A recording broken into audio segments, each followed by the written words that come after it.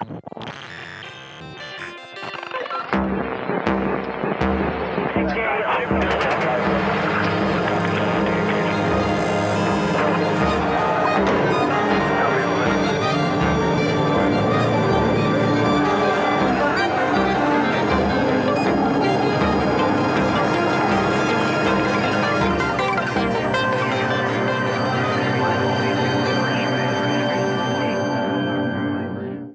This month, as America pays homage to African Americans who have changed the course of history, the establishment shows us a revised version of black history that omits a critical piece the black radical political tradition.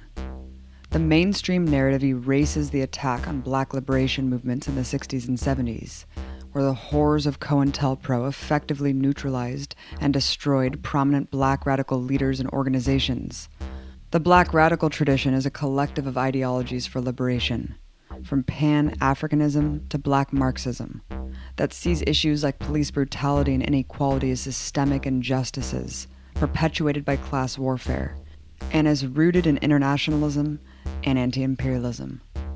To honor Black History Month, we want to highlight a few of the many voices that are keeping this political tradition alive. On January 10th of this year, hundreds of people from all over the country converged in Philadelphia to show this fire is still burning, despite all the attempts to extinguish it. Hosted by the Philadelphia based Black Radical Organizing Collective, held at Temple University, the Black Radical Tradition in Our Time conference provided a platform for organizers young and old, from Black Panthers to Black Lives Matter to generate discussion and action in challenging white supremacy and capitalism and anticipating the next stage of the black liberation movement. Keynote of the conference, Dr. Angela Davis, renowned author and scholar rooted in this tradition, reminds us of those who paved the way. So, what does radical mean? Aside from taking things at the root, it means opposition to racism in the tradition of Ida B. Wells it means anti-capitalism in the tradition of Claudia Jones and Paul Robeson. It means resistance to settler colonialism in the tradition of Osceola. It means dedication to working class struggles in the tradition of Lucy Parsons Gonzalez, Henry Winston, and Hosea Hudson art and struggle in the tradition of Max Roach and Nina Simone. Also at the conference was Cornel West, professor emeritus at Princeton University and one of the world's leading intellectuals. We sat down with West to hear his thoughts on Black History Month in the context of U.S. empire. Black history is really about the truth. And the condition of truth is always to allow suffering to speak, no matter who's suffering it is. And of course, this conference is about the black radical tradition. You're talking about W.B. Du Bois and C.L.R. James and Ella Baker and Ida B. Wells Barnett. They were willing to allow suffering to speak across the board and then bear witness and live and die for something bigger than them.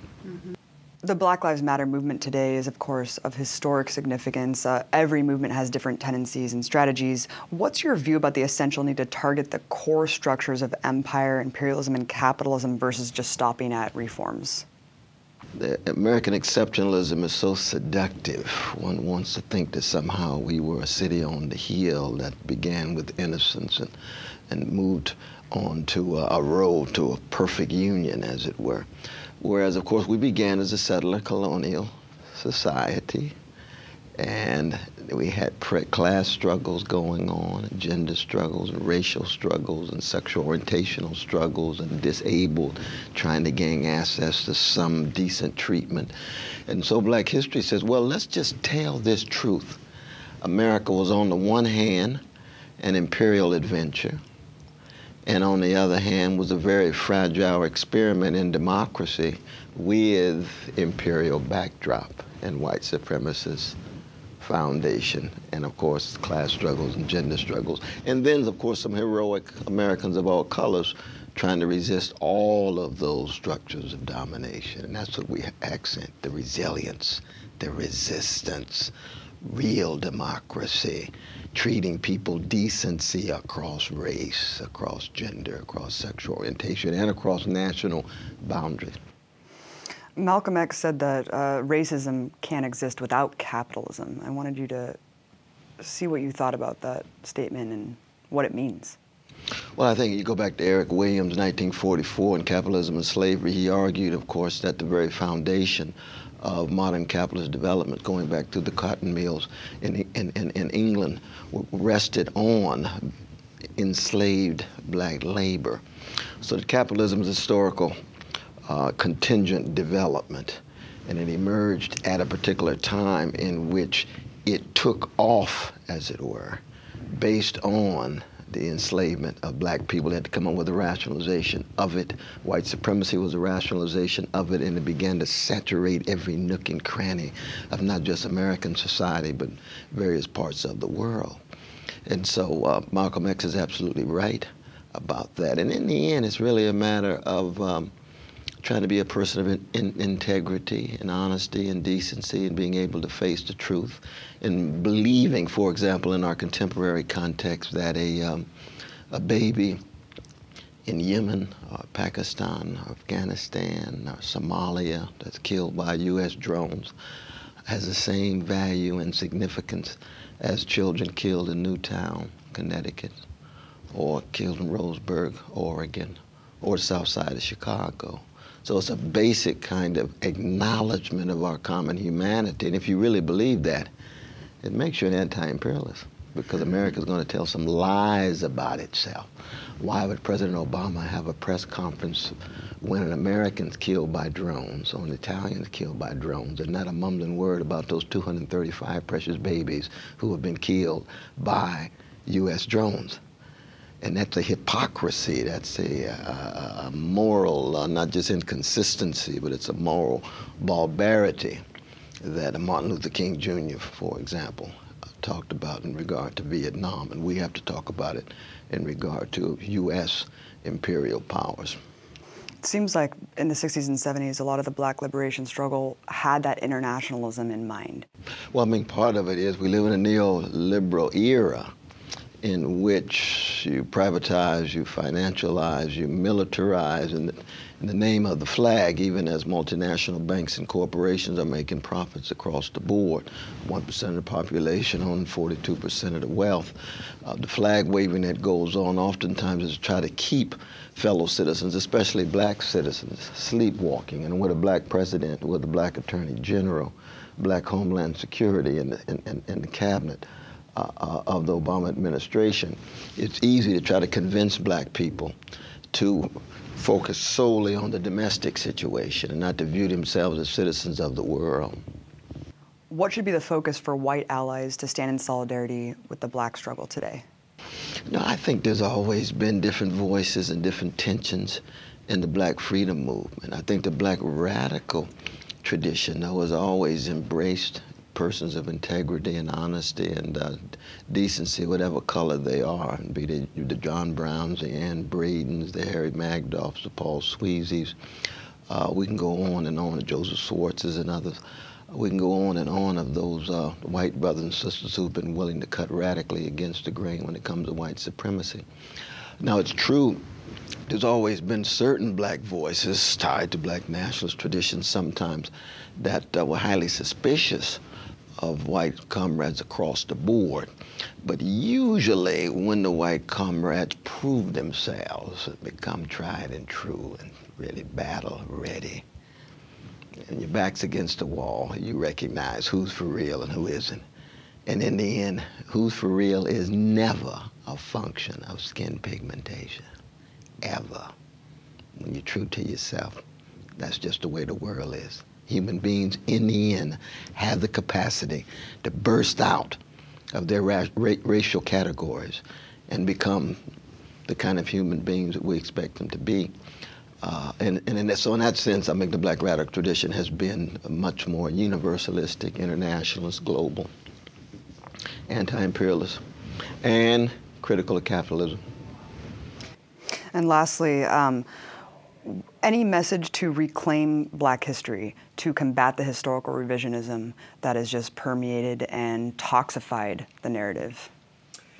Yeah, I think that we, there's been wonderful breakthroughs, of course, in American historiography from the Eric Foners and David Brion Davises and, uh, um, of course, W.B. Du Bois and Carl Woodson uh, in the past. Uh, and so it's hard to live in a world of mendacity when it comes to the writing of American history in light of which texts are available.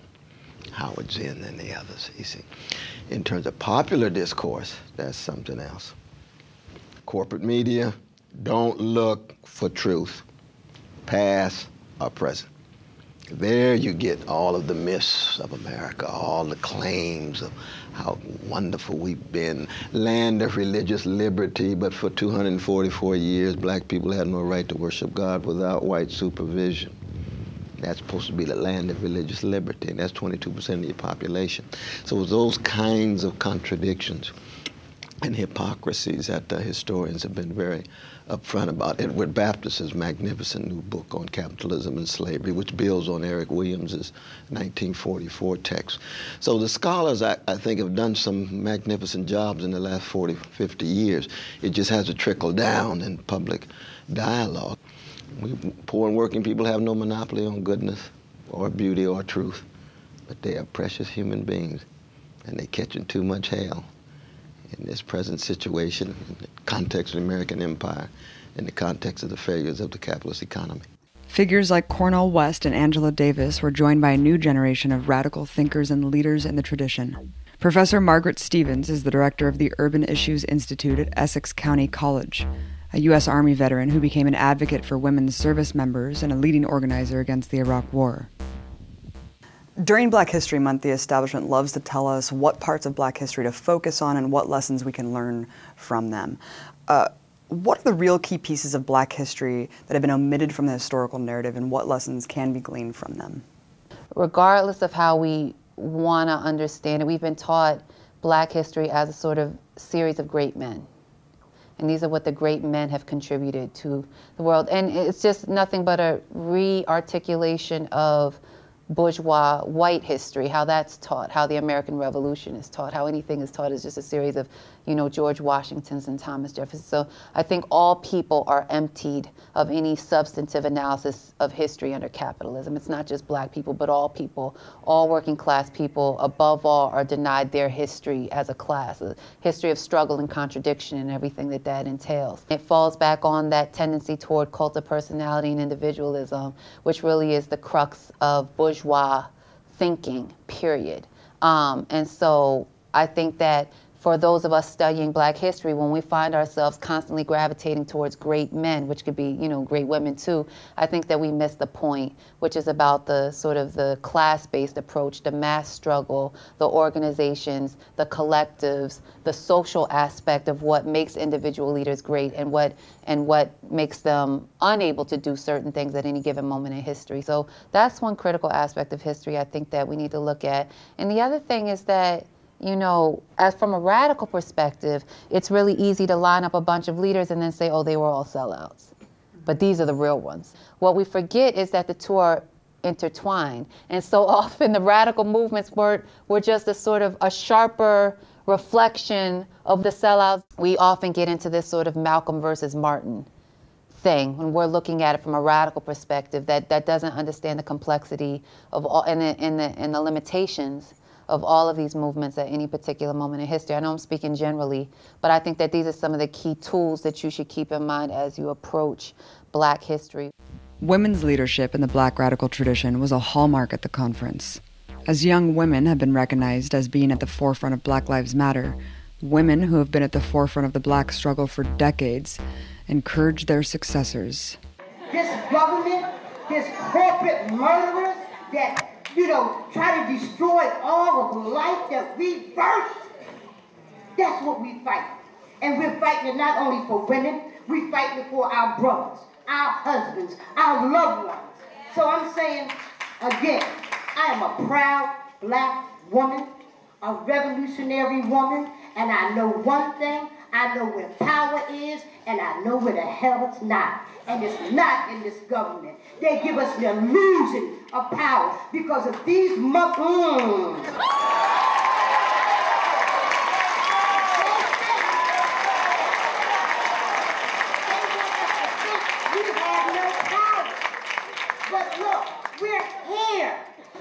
We're here despite the beatings, the maimings, and the killings. We made it and we'll continue to do it. I'm saying and bring forth the strength of other women. This government wants to separate us through categories. We will not be separated through categories. They do not be separated through categories when it comes to beating, maiming, killing, and locking us the hell up. They do not make differences when it comes to poison the Atlantic Ocean, the Pacific Ocean. They do not make categories when they bomb, poison the entire earth. They don't make categories. They divide us by millions of things. But we got one enemy. That's corporate America. The mayor ain't nothing but a pawn for big business. The DAs, the judges, the same. The strength that we possess and the attraction that we have to other sisters and brothers who have that same thing, this motherfucking system is down.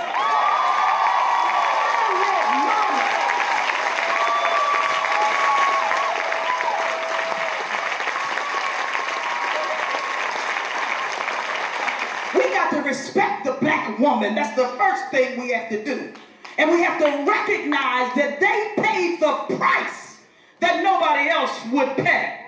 You have to and you must understand that we represent something. We not we didn't start just because Rosa didn't get up on the bus. Sojourner was on a soapbox declaring that we had a right to the same opportunity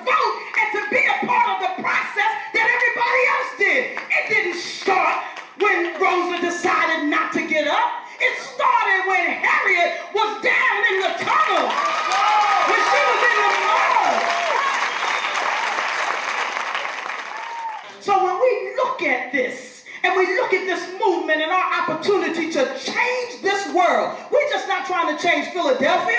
We're just not trying to let women to, to, to take positions in Pennsylvania or the government. We're trying to change the world. The conference was even joined by Mumia Abu Jamal. His speech from a prison phone was a reminder of those who sacrificed life and freedom in the very real struggle for black liberation. Good evening, Comrade Mumia. Good evening.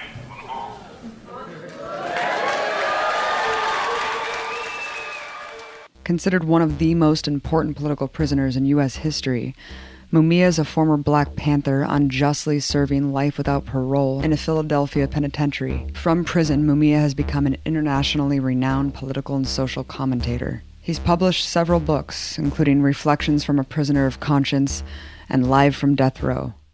As we witness the cop riots of violence against black life in the midst of neoliberal America, in the age of Obama no less, it's vital that we learn the lessons of history, especially during the COINTELPRO era.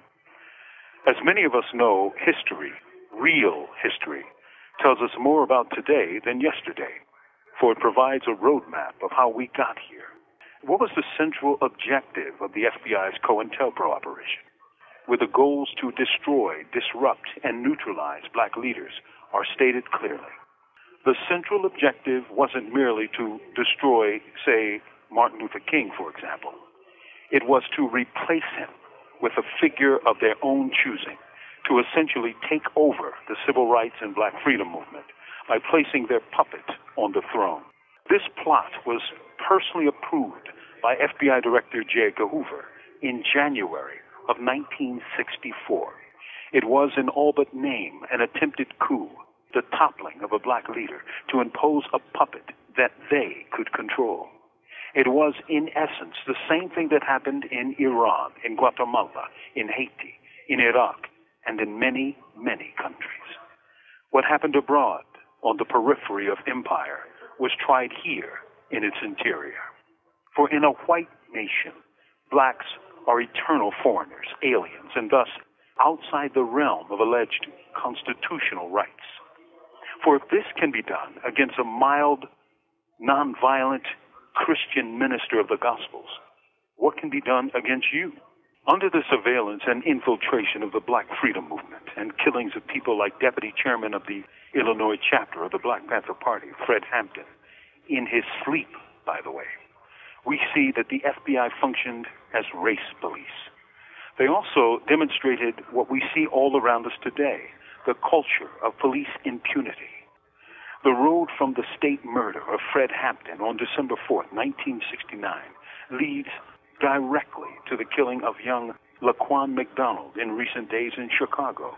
For both are expressions of the ugly and recurrent phenomenon of police impunity, the right to murder if the victim is a black person. Today, as the U.S. embarks on a new century, it's perfectly acceptable to large segments of the American population to beat someone to death, to shoot them, to choke them to death, men, women, even babies, with perfect impunity. How can this be? But American roots of police were born quite differently and for different reasons. Founded as slave patrols in the 1720s in the Barbadian British colony of the Carolinas, the body of armed white men had one primary duty control Africans as a large labor source.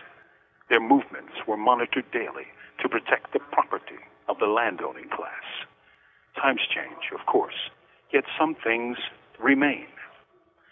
In this neoliberal era, when the political class sold the remaining shreds of their souls to the corporations and dispatched millions of jobs overseas under NAFTA and CAFTA, the role of police sharpened as they were equipped with weapons of war, ostensibly in response to fake wars on terrorism.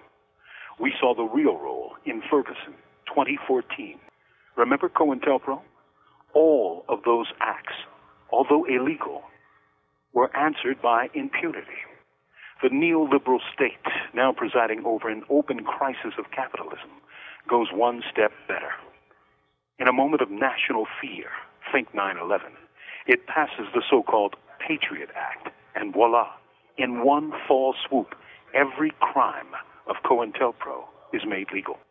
Phone tap, constant surveillance, snitches and rats, black sites, secret prisons, no problem. Because it's all legal. Because everything police do in a police state is legal. But to quote MOVE's John Africa, just because it's legal, don't make it right. Now, Black Lives Matter enters the cipher. Born by women, grown by women, nurtured by women. It is beautiful to behold. It's movement time again. We welcome you. Right on. I thank you all. On the move. Long live John Africa and all black lives matter. Long live revolution. Several days of workshops, panels, and discussions with a diverse range of ages and backgrounds. The energy and power of the conference showed that as much as the Empire tries to write black history for us, there are legends and new leaders who are making black history right now, in the tradition that challenges the Empire's pillars.